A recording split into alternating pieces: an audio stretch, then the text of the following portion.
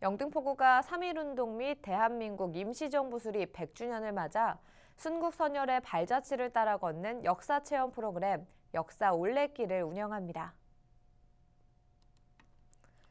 지역 내 초등학생 4학년부터 6학년 1000명이 대상이며 프로그램은 오는 3월 12일부터 4월 30일까지 학교 일정에 맞춰 현충사부터 독립문, 3.1운동 기념탑, 서대문 형무소, 안산 올레길 등 독립운동에 헌신한 선열들의 흔적을 담긴 역사 유적을 돌아보게 됩니다.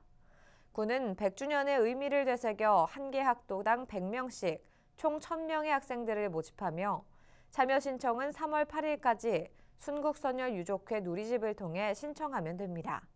최현일 영등포구청장은 이번 체험학습을 통해 어린이들이 국가와 민족의 소중함을 체득하고 건전한 국가관을 확립하길 바란다며 학생들이 우리 역사에 관심을 갖고 올바른 인성을 함양할 수 있도록 다양한 프로그램을 운영해 가겠다고 전했습니다.